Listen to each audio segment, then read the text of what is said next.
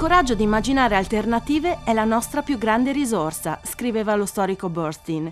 Ed è con questo spirito che il progetto di Etrarte, il numero 27, Osvaldo Parco Progetti Creativi, selezionato al premio Cultura Che Fare, vuole diventare un format di riqualificazione partecipata e creativa degli spazi urbani che spesso hanno bisogno di essere ripensati e riscoperti per risvegliarne il senso d'appartenenza, la loro storia e memoria. Siamo nel quartiere di Sant'Osvaldo, alla periferia di Udine Sud, è una parte di questo parco vastissimo eh, ci troviamo qui, eh, qui sono gli stabilimenti del Dipartimento eh, di Salute Mentale della città, oltre ad altri uffici regionali e ehm, comunali insieme a cooperative ed associazioni e qui è anche la sede eh, della eh, Comunità 9 e del gruppo CIPART con i quali eh, collaboriamo per realizzare questo progetto, il progetto Osvaldo. li abbiamo conosciuti durante il nostro ultimo lavoro, quello di Palazzo Contemporaneo, ci hanno hanno coinvolto ed ora siamo qui ed abbiamo voluto accettare questa sfida.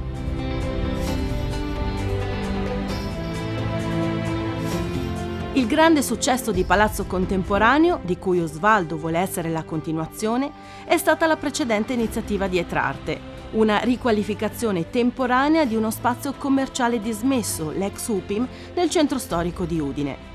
Nel mese d'apertura, aprile 2013, hanno gravitato attorno ad esso oltre 10.000 persone.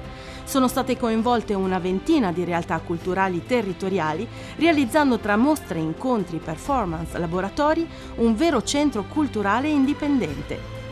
Tra le associazioni c'erano anche Callipolis di Trieste, che si occupa di sviluppo urbano sostenibile, processi partecipativi e di pianificazione territoriale, e CIPART, gruppo di creativi della Comunità 9.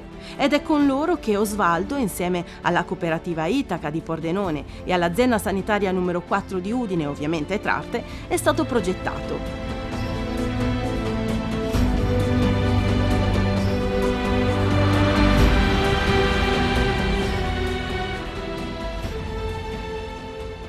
Ci troviamo nella sede della Comunità 9, che è un centro di uno del Dipartimento di Salute Mentale all'interno del Parco di Sant'Osvaldo.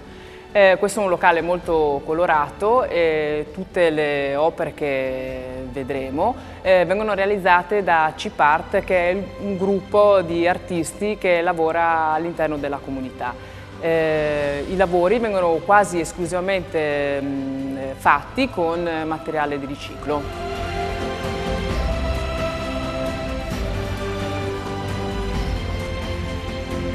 Il progetto Svaldo vuole diventare un format di riqualificazione attraverso le potenzialità e risorse creative del territorio, realizzando attività culturali, laboratori per artigianato artistico, residenze d'artista con scambi europei, ma non solo.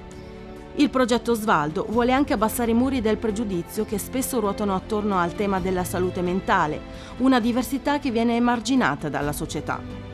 Il coinvolgimento di giovani attraverso l'arte può diventare un approccio non invasivo verso queste nuove realtà, trasformando quello che poteva essere un pregiudizio in opportunità. Per realizzare Osvaldo Parco Progetti Creativi abbiamo bisogno del tuo voto per candidarci alla selezione finale, accessibile solo ai primi otto progetti più votati. E allora vota Osvaldo, vota il numero 27 www.chefare.com.